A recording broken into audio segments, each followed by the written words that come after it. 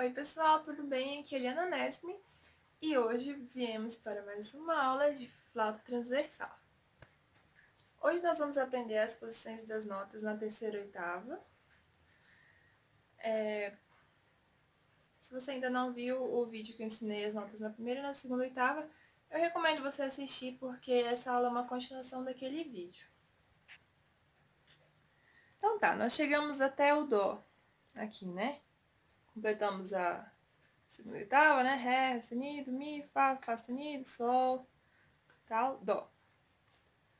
O Dó da terceira oitava vai ser a primeira nota. E ela vai ser exatamente igual ao Dó da segunda.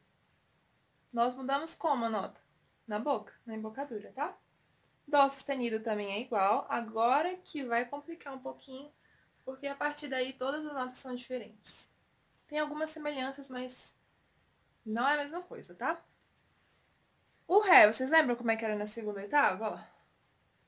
Aqui atrás. Médio. Anelar. Indicador, médio, anelar. Na terceira oitava, a gente tira todos esses três aqui da mão direita, tá vendo? E adicionamos o dedo mínimo. Então, Ré da segunda oitava, Ré da terceira oitava. O Ré sustenido, como é que era mesmo? Vocês lembram? Assim, ó. Com mindinho aqui e tal. Agora, nós vamos adicionar algumas chaves. Aqui e aqui.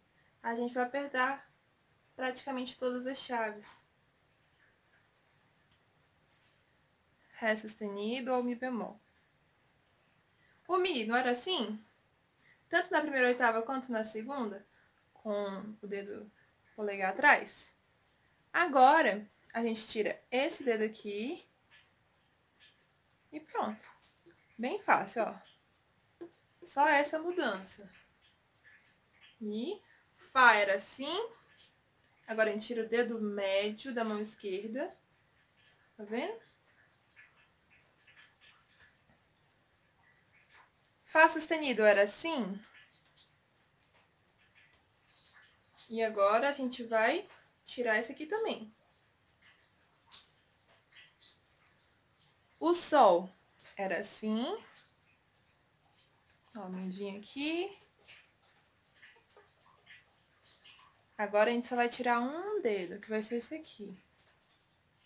Tá vendo a diferença? Sol sustenido.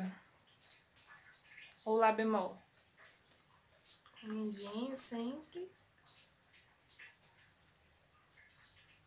Agora, a gente tira polegar.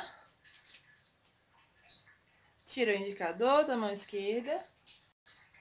E mantém o mendinho, dedo mínimo, na mão direita. Lá, como é que era o lá? Indicador, médio, polegar na esquerda e mínimo na direita. Agora, a gente vai adicionar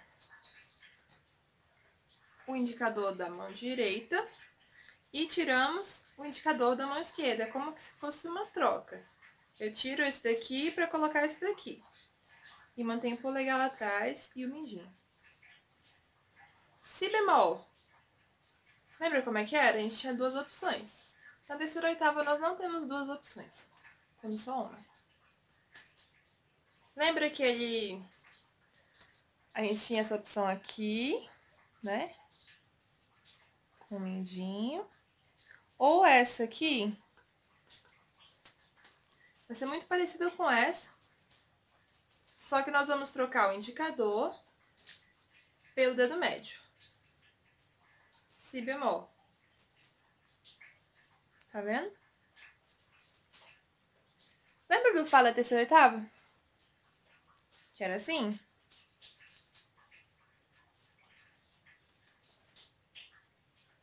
Agora, o Si natural da terceira oitava, a gente troca o indicador da mão direita pelo dedo anelar da mão direita também.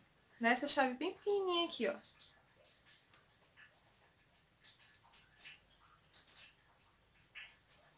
Para terminar o Dó, lembra do Fá na, na segunda oitava? Era assim? O Dó a gente coloca aqui, tira o mindinho e tira o polegar. Ok? Para fechar o vídeo, eu vou tocar para vocês a escala cromática. O que seria a escala cromática? Vou tocar todas essas notas que eu mostrei para vocês, desde a mais grave até a mais aguda, passando pelos sustenidos e os bemóis. Começando com Dó grave.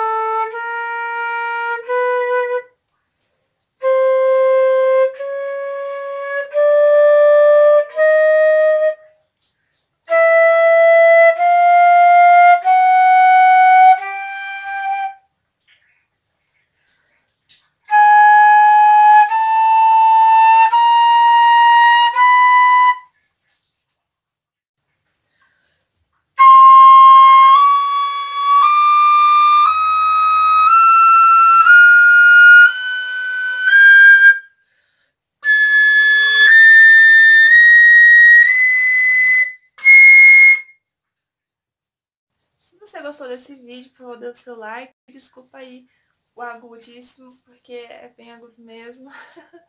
Mas a flauta é instrumento agudo, fazer o quê? Nós temos que aprender as, as posições, né? Então é isso, pessoal. Vejo vocês no próximo vídeo. Por favor, deixe sua sugestão aqui de vídeo pra eu gravar, tá? Beijo pra vocês. Até mais.